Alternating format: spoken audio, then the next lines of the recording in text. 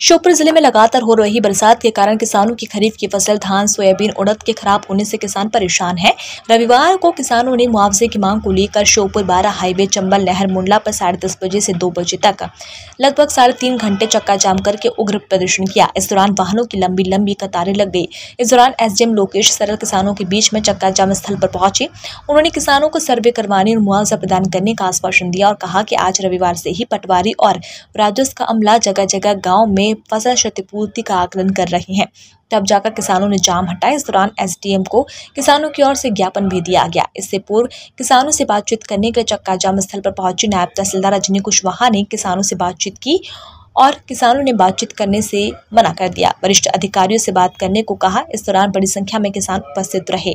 चक्काजाम के दौरान प्रमुख रूप से भारतीय किसान यूनियन के प्रदेश अध्यक्ष राधेश्याम मीना मुंडला रामलखन, हिरणी खेड़ा ओम प्रकाश मीना नाथुराम रावत, सोई, सरपंच योगेश कलोनी, सरपंच घनश्याम मीना सरपंच मनमोहन मीना सरपंच कप्तान जाट, सरपंच मूलचंद रावत मुंडला, धारा सिंह चंद्रपुरा, विनोद धनवाहा राम भरत राम गावड़ी जसवंत सिंह बचेरी सहित कई लोग शामिल रहे।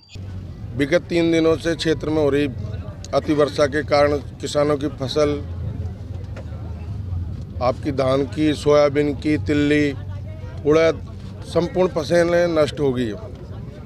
खेतों में आज सब जगह पानी भरा हुआ है। धान की फ़सल की स्थिति है कि पानी में तैर रही है। तिल्ली और आपको सोयाबीन की तो कल्पना ही मत करो कि क्या स्थिति है। विगत तीन दिनों तक विभिन्न किसान संगठन जिला प्रशासन को ज्ञापन देते आ रहे हैं कि हमारे फ़सलों का सर्वे कराया जा, सर्वे कराया जा। पर कुंभकर्ण ने नींद में सोया और प्रशासन आज तक सर्वे का एक आदेश जारी नहीं कर पाया है। जब रात किसान संगठनों ने चक्का जाम की बात की है, जब जाकर सोशल मीडिया पर माननीय कलेक्टर महोदय का एक बयान जारी होता है कि हम सर्वे कराए जाएँगे, पर हमने जब उसकी जानकारी लेना, चाहिए लेना तो अभी तक सर्वे के बारे में जिला प्रशासन ने कोई आदेश जारी नहीं किया गया। जबकि किसान का आप देखो, आप अट्ठाईस से लेके बत्तीस तक पूरा सपाड़, आपका पूरा कराल बेल्ट का एरिया, संपूर्ण क्षेत्र में फ़सल आज नष्ट हो चुकी है। बड़ौदा तहसीलदार ये बात करता है कि 10 परसेंट नुकसान है। आप भी धरातल की स्थिति का आप लोगों को भी ज्ञान है, पूरी मीडिया को ज्ञान है, क्योंकि आप भी रोज़ दिखा रहे हैं, मीडिया पर दिखाई जा रही है कि क्षेत्र में नुकसान की क्या स्थिति है। क्या 10 परसेंट नुकसान है? अब इसलिए आज गूँगे बेरे प्रशासन को जगाने के लिए हाईवे जाम किया गया है। अगर जिला प्रशासन ने हमारी मांगे और किसानों का सर्वे ठीक ढंग से नहीं किया गया तो ये आंदोलन आज तो चक्का जाम है पर श्योपुर की सड़कों पर उग्र आंदोलन होगा। क्या मांग है आपकी? हमारी मांग है एक तो किसानों की फ़सल का सर्वे उचित ढंग से किया जाए। दूसरा किसानों का 95 परसेंट किसान फ़सल बीमा की राशि इस क्षेत्र का देता है। श्योपुर मध्य प्रदेश में पहला जिला है जहाँ सबसे ज़्यादा फ़सल बीमा की राशि शासन को देता है। पर जब राशि मिलने की बात आती है तो मध्य प्रदेश का सबसे निचला जिला है जहाँ सबसे फ़सल बीमा की राशि मिलती है। एक तो किसानों के जो फ़सल बीमा, उसके तहत सर्वे हो, मुआवजा हमको नहीं चाहिए मुआवजा तो शासन की खेरात है, हम खेरात नहीं मांगते।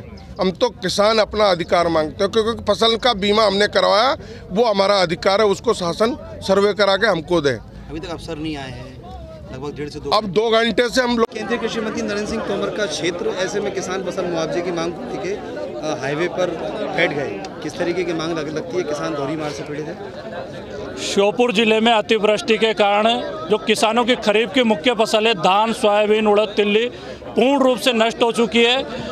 कुछ वर्षों से किसान विभिन्न प्राकृतिक आपदाओं का सामना करना पड़ रहा है, इसलिए किसान वर्तमान समय में पूर्ण रूप से बर्बाद हो चुका है।